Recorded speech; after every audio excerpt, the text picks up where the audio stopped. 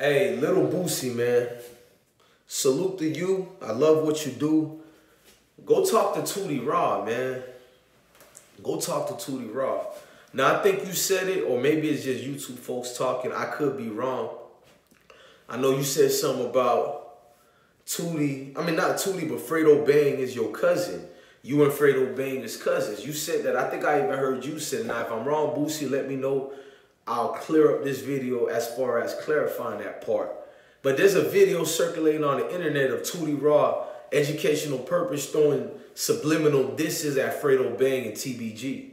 You know, he says, blah, blah, blah, I don't hang with no gorillas.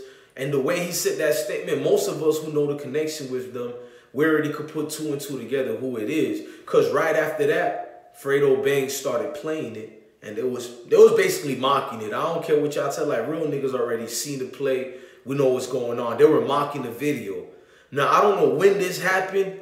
I do know that Tootie Raww got a music video with Baby Joe. He's real cool with the crew. They real close. In fact, people used to get mad at Boosie for not promoting TBG more because he's always promoting and looking out for NBA Youngboy. Not that I got a problem with it. I like when an elder rapper, he give back to them younger folks out there that need that type of help. You know what I mean?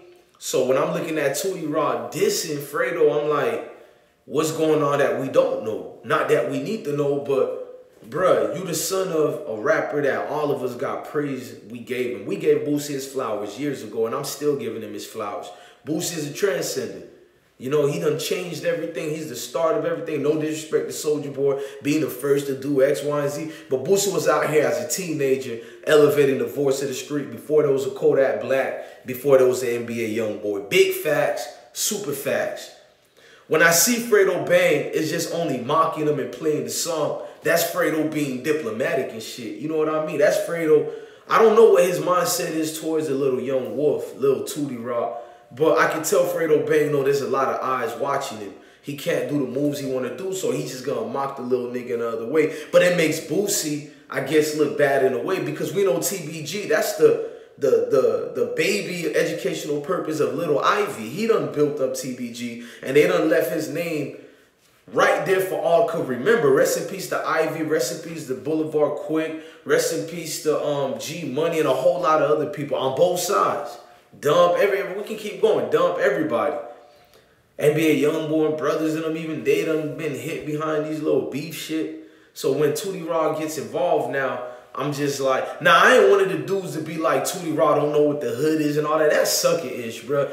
Boosie done raised his kids in the hood hood. Most folks, when you know, know, you know, know. Especially when Boosie was locked up for over five years. How old you think Tootie was? His whole life has been on some hood shit, so I give him that. But bruh, you don't gotta go that route though. You in a winning position. Must we even throw these type of tactics? Cause sometimes mom and dads can't protect us from everything, dog. I'm just being honest. I mean, money talk, bullshit, all, all that sound nice, but I done seen everybody and every mama done preached about that and people still get touched. I would never say I'm not untouchable. I'm just doing this because I like Tootie, uh, Tootie Raww. I like his music. You know, I remember when Boosie, I put him with that white singer. I don't know what his name was. I didn't really like the vibe. Not because one was white, one was black. It was like they did different type of styles. But I was telling everybody in the comment section, wait, Tootie gonna find his little wave right quick. I mean, he is his father's son. He gonna find his way. He gonna take all. The man could rap. Let's just get that out the way. Tootie Raww could spit. Like, he done improved so much, bro. I ain't gonna even cap. I started listening to it and I'm like, got me saying I don't fuck with gorillas or whatever, bro. I don't want to say it like that. No disrespect to Fredo Bang. But Tootie music was lit. It's a lit song. It's a lit dish. But it's like, is this the route we gonna go? Or the people who rock out with Boosie are gonna keep, like, let's say if Boosie should pass away. I might die before him. I don't wish that on nobody, so let's knock on wood. I'm just saying, would dudes ride regardless, even if Boosie wasn't Boosie and who he is and having the money, because that's a dangerous game to play. Everybody gonna ain't gonna look at you as a little nigga, little nigga like that. Niggas and them gonna be looking at you, bro. You a grown ass man.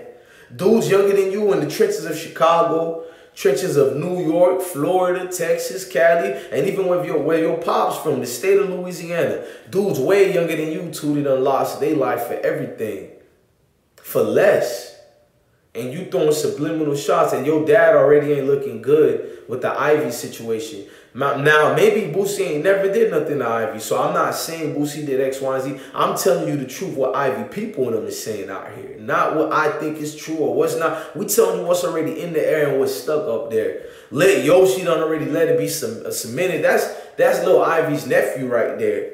And we know what his his play and work is in the streets. We ain't gonna dig into that. I hope Lil Yoshi little incarceration situation with them folks stocking them the alphabet board. You know, it's fan season. I hope Lil Yoshi get good with his situation, but even little Ivey's son, his daughter, and maybe people was tweaking on Boosie and think Boosie supposed to keep supporting him forever, but but niggas look at the streets one way and look at your actions and say speak louder words. I think Lil Boosie is a real nigga.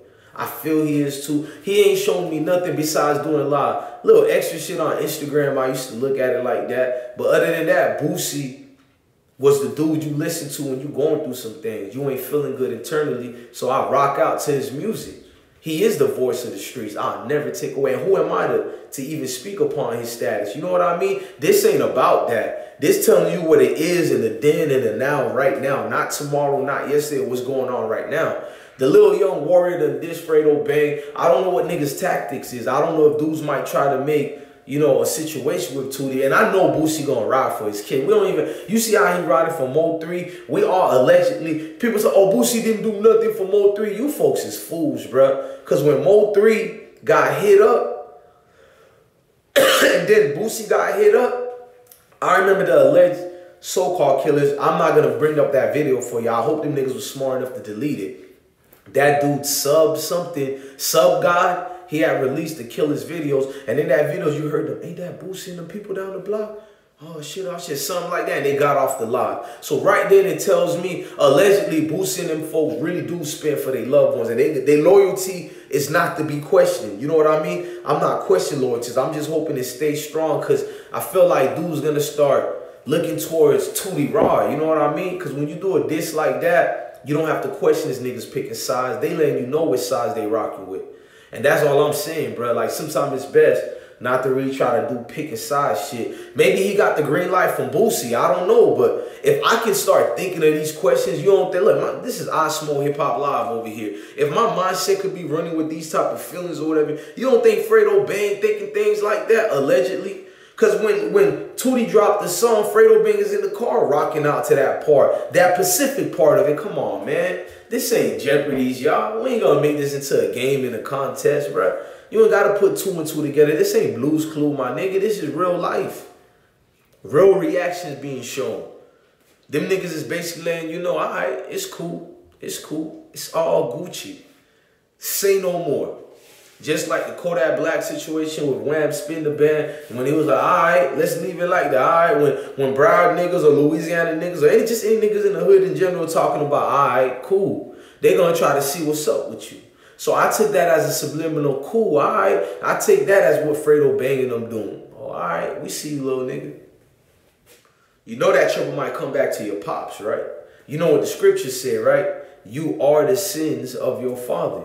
That's why I try to clean up a lot of bullshit I did out here, did in the past, and doing currently, because I don't want none of that garbage to fall back on my kids, bro. I would never want my kids to do what I'm doing on YouTube or what I did in the past. Maybe the military, that's if all fails, but they need to try to be entrepreneurs first. But you did what I'm saying? I ain't gonna have my kids out here just dissing niggas relentlessly. Nah, bro. I'm already nervous enough with the fucked up world we live in, bro. Why I need that extra pressure? That's all I'm saying. I'm making a, a real observation. Now, some of you may not like it. You're going to get emotional. You ain't going to listen to none of the words I said. You're going to read the titles and just be zesty as hell. And then you're going to go on relentless to pursue to critique me or even more words I want to say, which I won't, because I follow the YouTube guidelines. Shout out to Lil Boosie. Shout out to Tootie Raww. I hope you have a great career, young man. But this ain't the route, gang. I mean, it's a lot of other things you can do than doing the dissing route. These are the observations that I'm making and what I see. I see a lot of animosity and anger towards each other. It don't gotta be like that. And if it is, maybe something doesn't happen behind the scenes and I need to just fall the fuck back. But I'm one of them dudes that don't wait when one of these bad things happen to the rappers and when they die, y'all be like, why I didn't say nothing? Well, that's why I'm doing this video. I'm saying something now. pretty much. I use my platform for a lot of positive things, and this is one of them. This is a positive videos to those who are listening and paying attention. Y'all hit that like button, hit that notification bell, come rock out with your boy. I smoke hip hop live. DJ underscore bless one at DJ underscore bless one. Find a nigga on Instagram. Look, y'all, I'm wishing the best for Tootie Raww. He sound like he going places in his rap career, but let's not start doing the dissing route. All I'm saying, cause I much want to see this young man be successful and Boosie as well. Y'all have a blessed day, man. Salute, gang.